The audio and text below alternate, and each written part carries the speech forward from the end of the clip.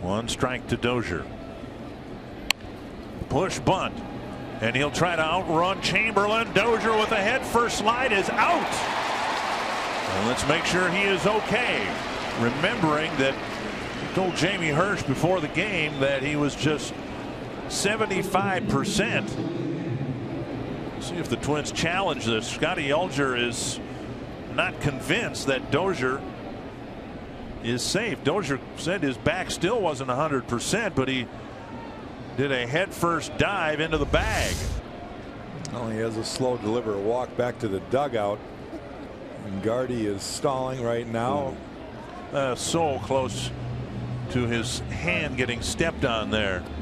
Chamberlain put his foot on top of the bag. And I don't think there's anything that's I mean look how close this becomes here. Dozier reaching for the outside of the base and that's about where Chamberlain's foot was. And they're going to review it. Gardy's going to ask for a review. So there is a challenge here by the Twins. I just hate seeing guys slide into first base. I, I know that in this case, Brian Dozier was doing everything he could to get to the base, but and avoid running into the pitcher. Right. The problem is, look at how close his left hand was to getting stepped on. Now we talked about the fact that he's got a sore back, so the fact that he's diving in head first, that's not good for the lower back. And we're going to get to see right here. Mm.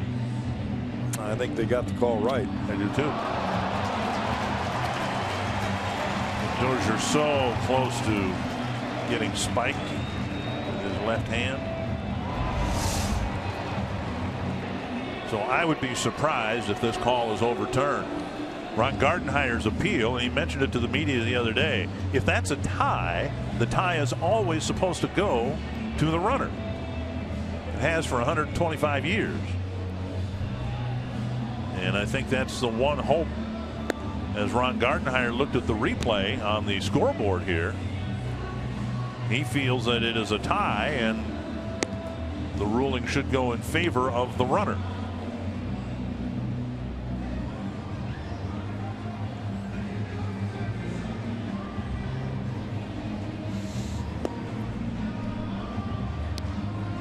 Just happy that Dozier apparently escaped that play without injuring at least his hand. How his back feels is another matter. I think the one angle it almost looked like Dozier might have beat it and the other angle it didn't. So this is taking a little bit longer.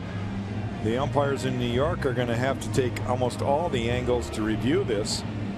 I just I don't see any clear and convincing evidence that Dozier even tied. Well, on that replay, it's hard to tell. But they're going to maintain the out call. Call confirmed, one away. Good idea by Dozier, who's trying to bunt his way aboard, forcing Cabrera to field the ball. But Quite honestly, it was a heads up by Joba Chamberlain busting over there yeah. because